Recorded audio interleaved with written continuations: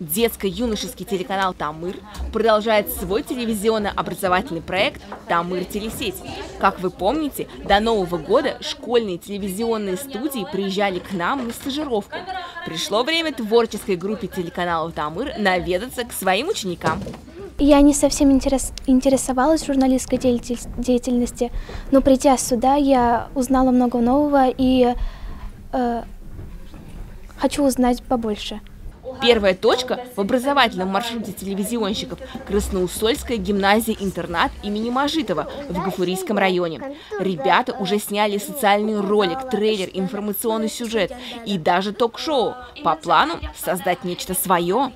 Мы научились э, писать э, состав рубрики для программы какой-либо, и после мы это продемонстрировали на практике. Мы разделились на команды, и каждая команда придумывала свою э, рубрику, не рубрику, а программу, и как, как мы будем ее вести.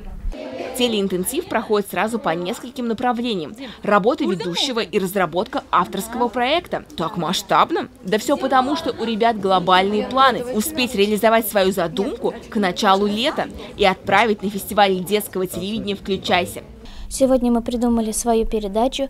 В нем говорилось о Великой Отечественной войне. Мы пригласили гостя, которая рассказала о своем дедушке, какие поступки он совершил во время войны, и что она очень им гордится и хочет, чтобы все брали с него пример.